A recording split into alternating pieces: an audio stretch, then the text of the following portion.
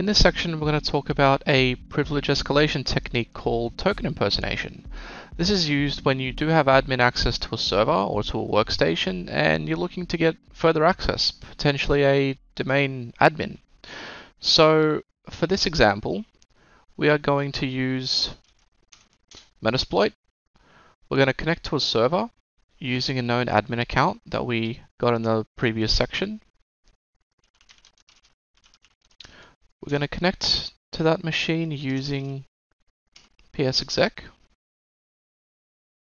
this module right here.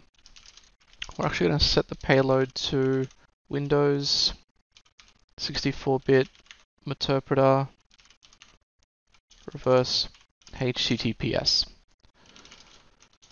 Okay, we're going to set the correct host for our Kali machine set the correct target host, 103, which is our WEF server, and of course, set our credentials.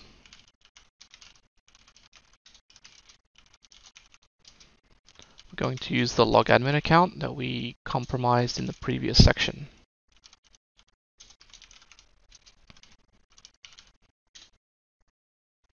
Okay, with all of that set, one final check, and away we go.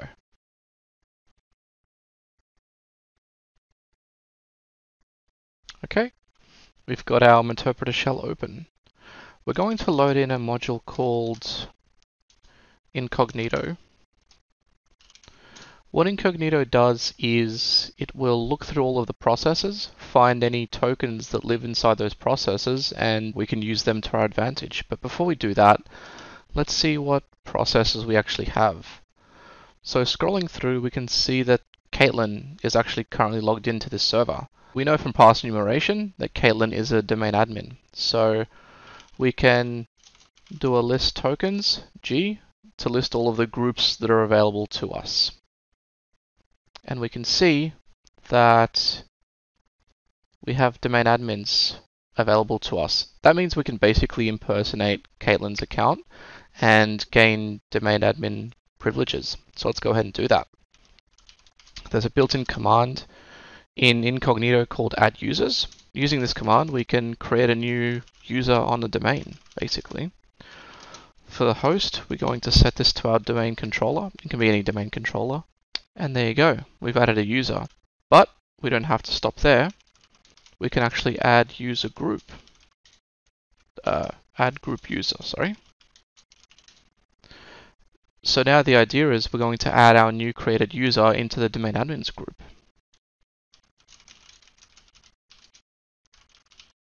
And again, specifying the domain controller. And there you go, we've added our user to the domain admins we can now exit. And as a bit of a prover to show you that we indeed do have domain admin privileges, we can authenticate to the domain controller using crackmap exec, and you can see that we have admin privileges. From here we can do fun stuff like NTDS and dump all of the hashes of the domain. I'm going to stop it there. Thanks for watching, and in a second we'll see how to fix this vulnerability. So how do you fix this token impersonation vulnerability? Well, the first step is always good process. You don't want to use domain admin accounts in an everyday scenario. Really, you only want to be using them in very edge cases when they have to be used. For everyday activities like doing server admin tasks, you should have a separate account that you use to log into those specific servers. That way, if that server is ever compromised, it's less likely that the attacker can pivot and gain domain admin privileges from that. Another way to do it is to use a group called protected admins. And I'll show you how to do that here. So we're going to remote into our domain controller. We're going to look for the um, users and computers window. let's then search for Caitlin.